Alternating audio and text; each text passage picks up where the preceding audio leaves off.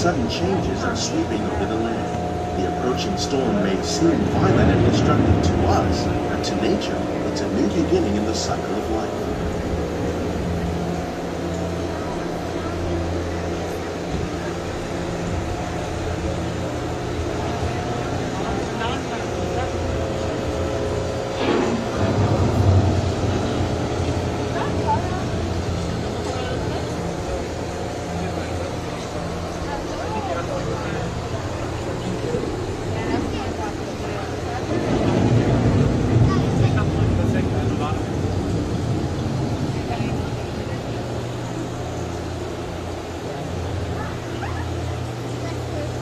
Beneath the surface of the land, roots trap water from the flowing mud, extracting precious nutrients and minerals. These elements, when combined with sunlight, create the diverse living systems of our planet.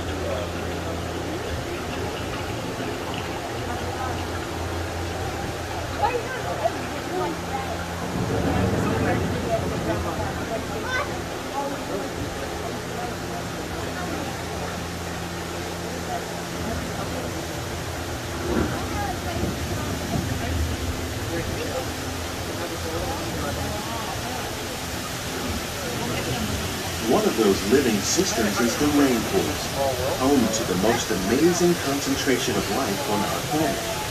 These dense and beautiful forests cover only a tiny portion of the Earth's surface, but they contain more than half of its plant and animal species.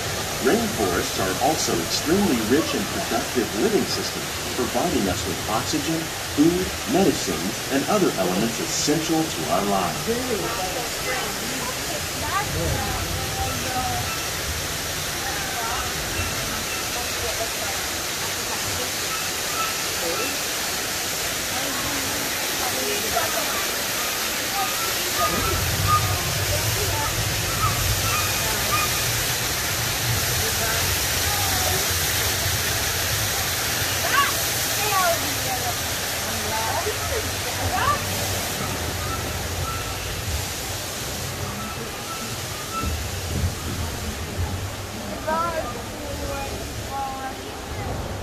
In the desert, nature has created a very different, but no less beautiful living system. And while this arid landscape may seem lifeless, it is very much alive. The plants and animals that have learned to survive in these harsh conditions make use of what little water they can find and avoid the scorching rays of the relentless sun.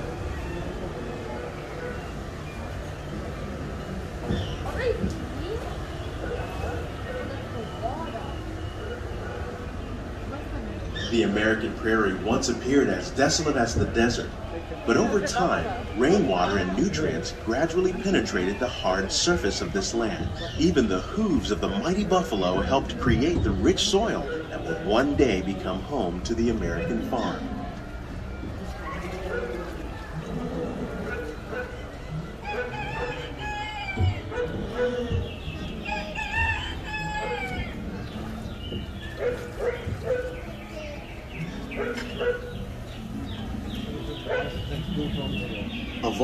Forces at work on the land, humans have had one of the most profound effects. The need to produce food for a growing world led to the enormous use and sometimes overuse of the land. In our search for more efficient ways to grow food, we often fail to realize the impact of our methods.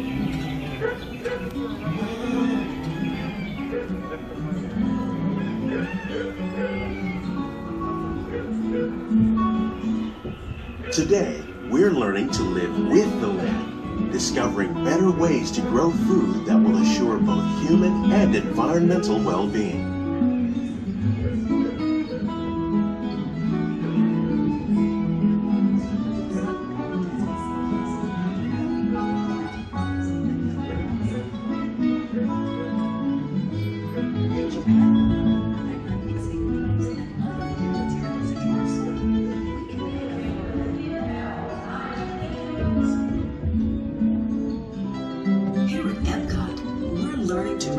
the need for chemical pesticides by breeding and using natural predators, like ladybugs and wasps, to control pests.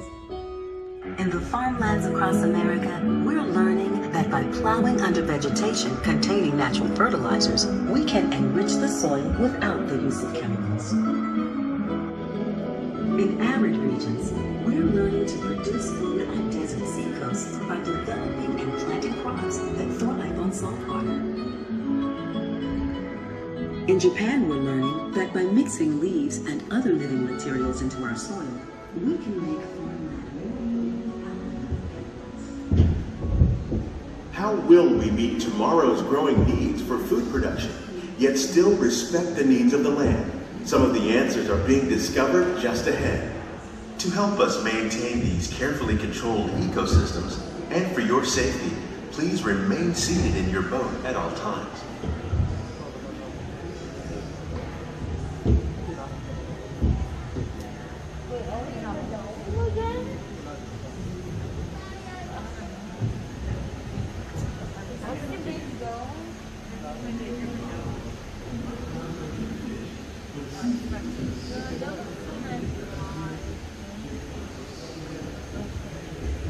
Welcome to our glimmering greenhouses, where scientists from Epcot and the U.S. Department of Agriculture illuminate the wondrous gifts we receive from the land.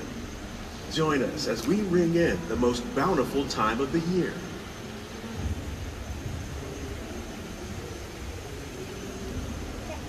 For some, it's difficult to imagine the holidays without winter and snow, but one of the most important holiday crops actually grows in the tropics. For centuries, farmers in Central America have cultivated cacao to make chocolate. In fact, cacao is chocolate's main ingredient. Today, people around the world are able to enjoy a variety of sweets and keep warm with a cup of hot cocoa, thanks to this tropical plant.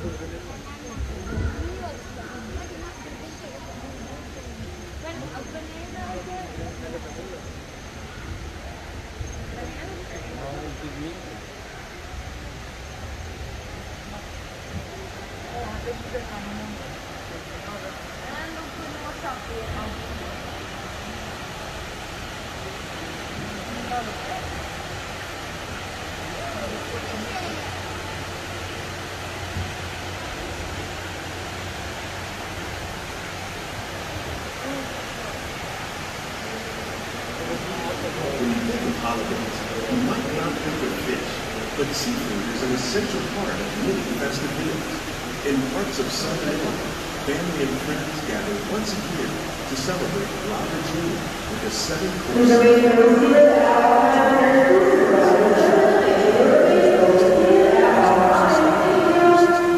make up just some of the dishes served during this grand meal. Today, in the United States, the tradition is known as the Feast of the Seven Fishes.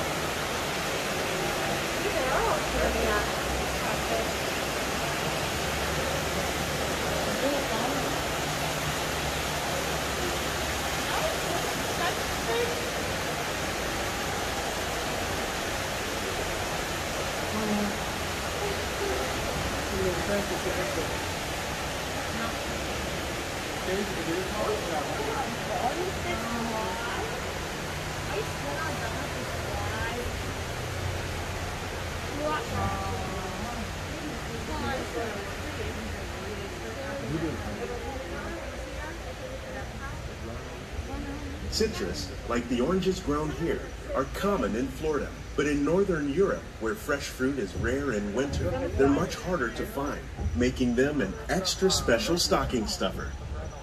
During Chinese New Year, these vibrant fruits are given as gifts of good fortune.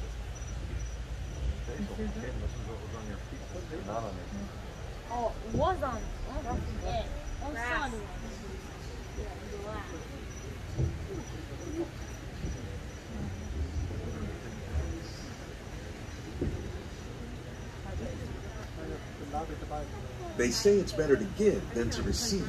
And in this greenhouse, we're celebrating the holidays by giving back to the land using innovative farming techniques. By recycling water, we can give plants rich nutrients. By giving plants ladybugs, we're able to control pests and reduce the need for pesticides. And by growing ground plants vertically, we give them better protection from disease.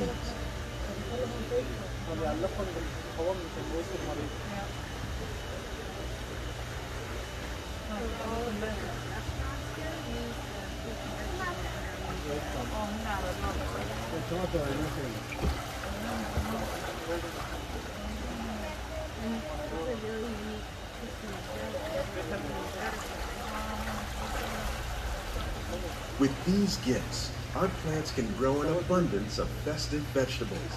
This greenhouse alone grows a bountiful 15 tons of produce each year. When we give more, we receive more, making the most of the land's green gifts.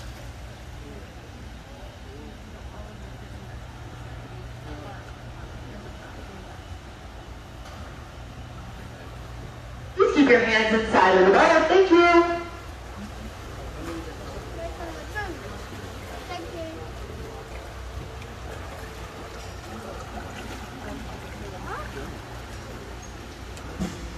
Many of the plants you see here help spice up the holidays.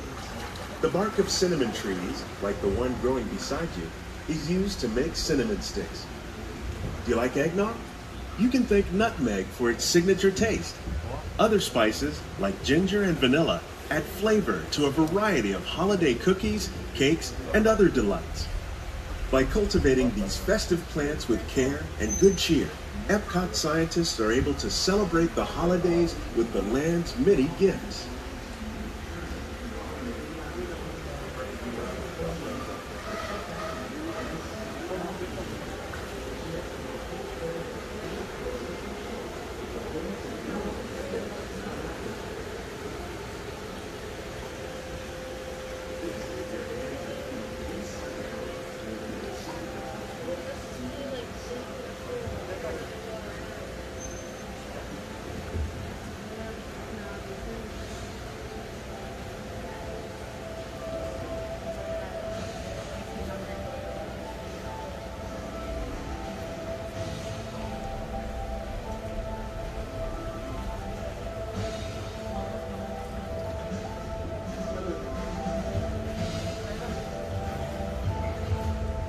These greenhouses represent just a fraction of the work being done worldwide to produce bountiful harvests for our growing population. Scientists, farmers, and even backyard gardeners are doing their part to improve the quantity and quality of foods that we all rely upon. Together, we can continue to find more ways to increase food production and protect our precious natural environment. Only then truly be living with the land.